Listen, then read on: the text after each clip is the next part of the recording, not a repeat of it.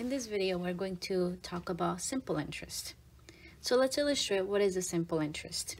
So suppose you borrow $100 from a friend and the friend charges you an interest rate of, uh, let's say, 3%.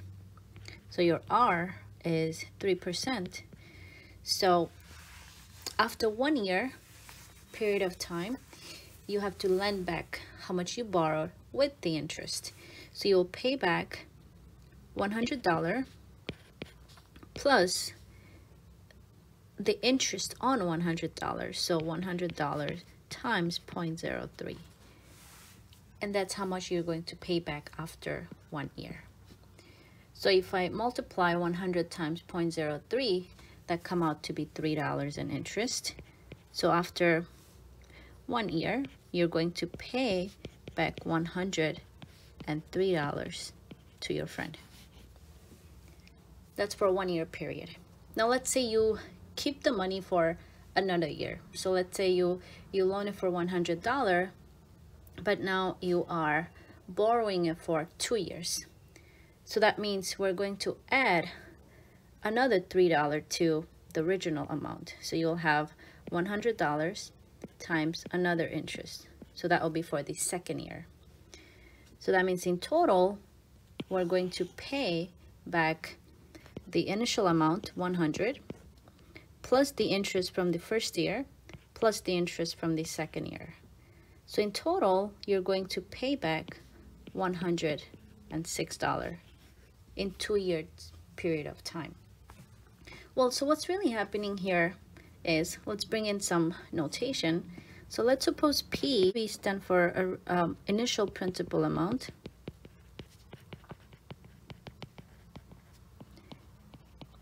The amount you borrow or you uh, start with, and let R represent the interest rate. And let T stand for time in years. Okay, so we're starting with some initial amount P and then well, let's say after one year we we have interest rate R on that amount P so that'll be P times R. That's for the first year. Now for the second year you add another interest to the original amount so that's P times R again and so forth for third year fourth year and so forth. So if we think about this, what's really happening is you're still with some original amount plus the original amount interest on that and over some time t. So in reality, that's the formula for simple interest. So the amount after some time t is going to be the initial amount times the interest on the initial amount over time t.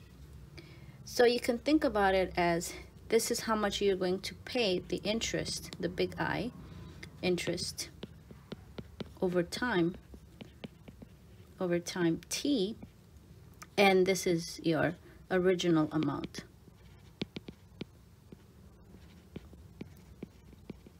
So P of T will be the amount after some time T. Now let's dive into our first example. So let's take a look at this problem. So we want to find the total amount due on a loan of $600 at an interest rate of 16% at the end of three years. So this is a simple interest problem.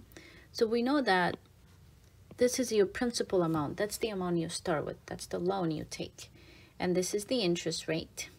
And you're paying off loan after three years. So we know the principal amount is $600 at an interest rate of 16%, which is 0.16 in decimal. And we want to calculate how much you owe after three years. So the amount P of 3 is going to be determined by this formula P times 1 plus R times T. So from the previous formula, I just factored out the P, so it's really P plus PRT, where this is your interest, and you add it to the original amount to get how much you will pay overall, the new amount. So let's let's go ahead and plug this in. So the amount after three years, it's going to be 600 plus 600 times the interest rate 0.16 times three years. And this happens to be $288 in interest. So you add that to your original amount and that will give you how much you'll pay after three years. So altogether, we're going to have $888. So after three years, you're going to pay back $888. So here is another problem. Let's say Troy deposited $400 into his saving account. So we are starting with P to be $400. How much interest, so we want to know how much interest will he receive at the end of one year if the interest rate is 3%. So here we're just calculating how much interest he's going to receive after one year. We don't need to find out how much in total, but we can afterwards, right? So we know the formula, the amount at any time t is p plus p times the interest times time. So we just want to figure out what this is. That's the interest, the, the big I.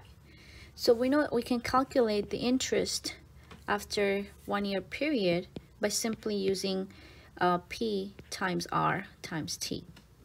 So, well, we know that he deposited $400, so that's 400 for P, times the rate, that is 3%, which is 0 0.03 in decimal, and he's only keeping it for one year, so T is 1. If you multiply these numbers, you're going to get $12. So the interest he's going to earn after one year is only $12. How much money will he earn?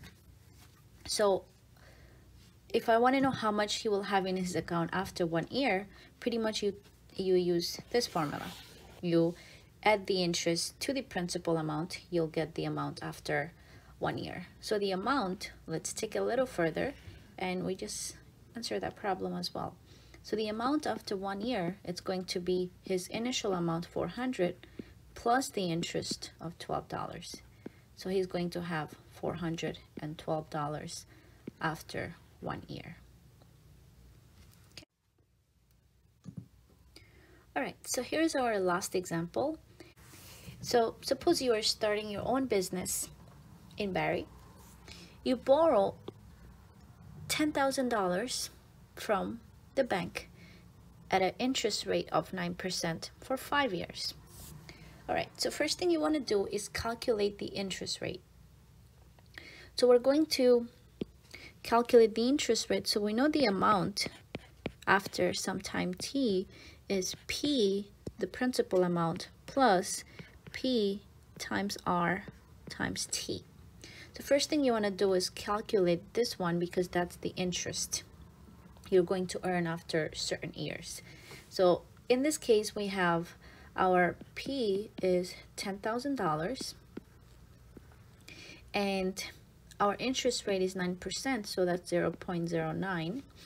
And the time you're borrowing it for is five years. So the interest you're going to earn is determined by P times R times T. So that will be the principal amount, $10,000 times the rate, 0 0.09, times time, which is 5. So we're going to do 10,000 times the interest rate, 0.09, times 5, and that will give us the interest rate of about uh, $4,500. So you're going to pay an interest $4,500 after five years. Now, how much money do you have to pay to the bank at the end of five years? So that's the amount. You add this to the original amount. So we know the amount you're going to pay after five years. It's the initial amount, 10,000, plus the interest we just computed previously. That's that's $4,500 and altogether you're going to pay 10,000 plus $4,500. So that's about $14,500. That's how much you're going to pay after five years. All right, so I, I hope this simple interest problem makes sense to you. I'll see you all next time.